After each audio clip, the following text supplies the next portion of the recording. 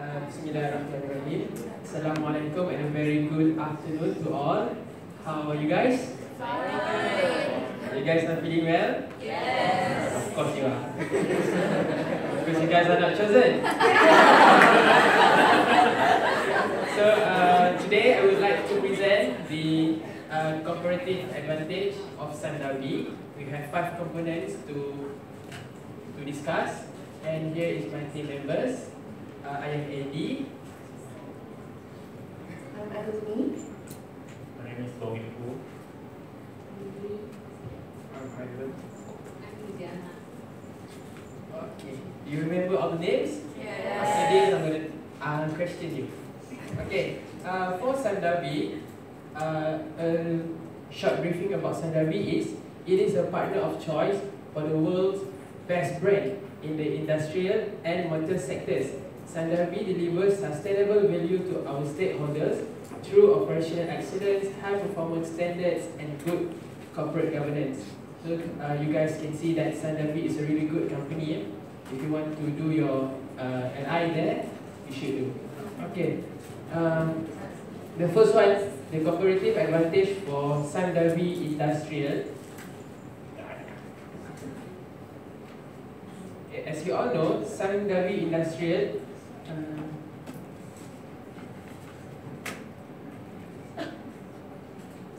they have a full range of products. Sandabi has been in Asia for a long time, more than 25 years. So they have conducted a research for that long, and they have uh, high tech of technology such as uh, the new incubators. Do you know what is the incubators? The machine that looks like a bulldozer. Okay, and uh, CAT is the branding they use to promote this kind of products. Other than uh, heavy industries, what kind of uh, products that CAT or Caterpillar have been selling? You guys know? Have you guys seen uh, any Caterpillar's shoes, boots, uh, caps? No, uh, sweaters. Okay, uh, this kind of merchandise they have been selling in UK and Malaysia for more than 25 years. And these shoes, this merchandise, shirt, these caps are very uh, comfortable to use. That is why uh, foreigners uh, they use this kind of shoes, the boots, uh, for uh, jungle trekking, for walking in the snow because they are really heavy duty. Other than that, they also have this uh, merchandise for accessories for phones. You know that? Uh, they produce heavy duty cables and heavy duty casing. That is the extra information lah. Okay, uh, one of the comparative advantage, uh, Sandrabi Industries, or you can call it uh, Caterpillar, the other name of the company, uh, they have the advantage of the first mover, meaning that they are the first to do it in uh, this Asian region. Okay, uh, and Caterpillar is the oldest dealership in Asia. They have been providing training to the employee uh, in Puchong, Selangor, uh, train the employees to use their equipment. As you all know, their equipment is very complex. That is why there are no competitors that up to their standards right now. It is very hard uh, to gain that 25 years of experience and try to produce that kind of product. That is why they have no competitors that with them. Okay, next, uh, they tried to optimize its cost structure by collaborating with DG and introduce industrial valet. Have you heard of fashion valet? Uh, this is the other part of valet that is industrial. Uh, industrial. Industrial. Uh, they tried to sell their um, heavy equipment parts, such as that I told you before, the, the uh, that, that bulldozer thingy. and the, uh, the equipment lah, such as trucks, eh, with collaboration with the Army Highcom too. And they sold uh, many, uh, many types of merchandise. I have told you before this. Okay, that is for the industrial part. Moving on to the uh, to the Sandabi Motors. Uh, uh, you know that uh, Sandabi Motors assemble, distribute, and retail various companies of cars, such as uh, BMW. Under BMW, you have that Mini Cooper, uh, Rolls-Royce, Jaguar, Land Rover, Ford, Volkswagen, and Audi. Many more. McLaren, Ferrari, name it. Some W have it. Uh, okay. Um, do you know what is the difference between locally assembled cars and fully imported? Uh, the other terms is CKD and CBU. Uh, for locally assembled, they call it CKD, meaning that uh, complete knockdown. So uh, the company, uh, example BMW, they uh, imported the parts from Germany to Malaysia. Okay, as for fully imported, meaning that they uh, import the full car, the full body of car to Malaysia, meaning that they have to pay uh, more import duty tax on that fully imported car rather than uh, CKD. If you have the parts and brought to Malaysia and Sandabi, they assemble that car, meaning that you can sell that car in much more lower price, 20% less than fully imported. That is why uh, Sandabi managed to um, managed to um, managed to be in this industry for such long and they don't have any competitors. Okay, next we move on to the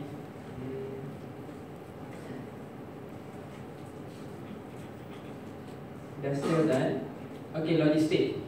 Uh, I'm going to read this to you. Okay, Sandabi Logistics have four ports in Malaysia: Wefang Port, Jining Port, Jining Long. How, how to how to say this? Jining. Jining Longgong Port and Jining Taiping Port uh, near my house. And one of the water management corporation, Weifang Water in China. China. Weifang. Trump, Trump always say that, China. Okay, uh, Weifang, come, uh, Weifang Water is the only supplier of treated water in Binhai Economic Technological Development Area, otherwise we call this as BEDA. In other words, it enjoys a competitive advantage as the valuable firm resources are not possessed by any firms in the area. Again, uh, Sam David, they, they don't have any uh, competitors because they have this first mover advantage, especially in Malaysia. okay, besides, according to Weifang Samdari report, Weifang Port is a national class one port that has become a crucial logistic transaction point for over 30 various cargoes catering to different sectors and industries in China, namely chemical, energy, agriculture, paper products, construction, materials, engineering and other manufacturing industries. Meaning that uh, whatever sectors that you are in, uh, Samdavi uh, could, could offer you their logistic. They can offer you their transportation of your products uh, from China to Malaysia, from various parts of the world. Okay, apart from that, today the port is actively involved in developing their halal industries, which could be a gateway to future halal hub for markets of Japanese and Korea. Okay, uh, today uh, the company are moving on to halal to uh, get the attention of the Muslims, especially from the Arab, even from Malaysia and Indonesia. These are the countries that are populated with Muslims. So uh, they try to focus on halal hub, which I think is a very good move. Okay, um, plantation. Okay, Sandabi Plantation um, is the world's largest all palm plantation company by planted area, accounted for 4% of the total global production of crude palm oil. And it has a strong focus on operational excellence, research, innovation and sustainability. Sam Darby Plantation has competitive advantage in its ability to carry out R&D effectively to move the development of its palm industry on. Plus, uh, Sam Darby Plantation adopts the zero burning replanting technique. This is the most environment friendly planting technique and hence it was subsequently adopted as the industry standard in palm oil replanting. Meaning that Samdabi doesn't manage uh, not only manage to produce plantation, uh, they also manage to uh, put the envir environmental factor uh, upon producing their plantation. Okay, uh, the last The last component is some healthcare. Uh, do you want to present about the healthcare?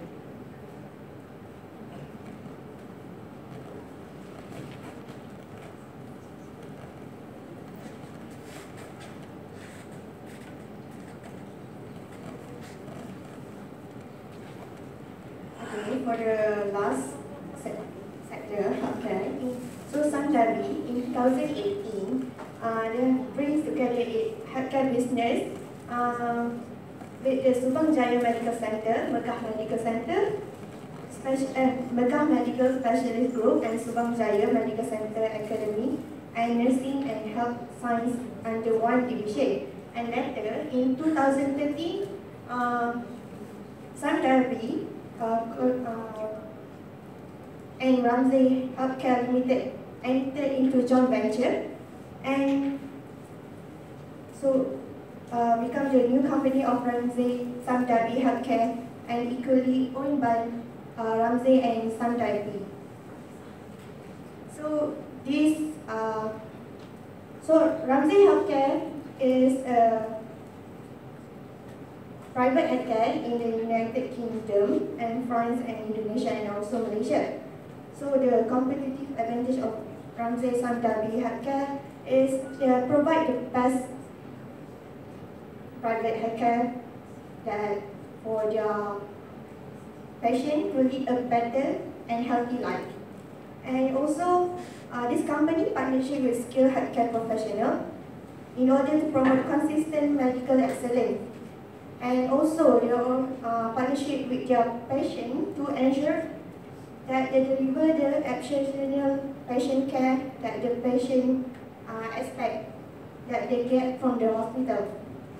And so the uh, Ramsey Sundabi Healthcare, Cen- Healthcare motto is people caring for people, which means the more customer focused and very compassionate care provided by dedicated staff.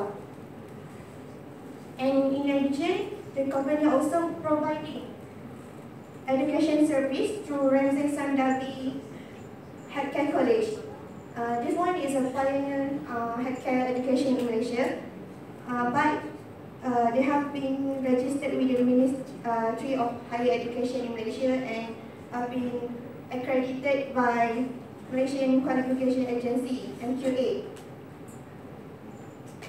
And lastly, uh, by mentioning in their business conduct, Ramsey Sunderby Healthcare Group hold themselves and their employees in the highest standard uh, of business practice and corporate integrity by the by using the Code of Business Conduct Handbook. So where the they can wait, sorry. So that uh, this one, uh, the Code of Business Conduct Handbook uh, applies to all directors and employees of the group uh, so that they can um,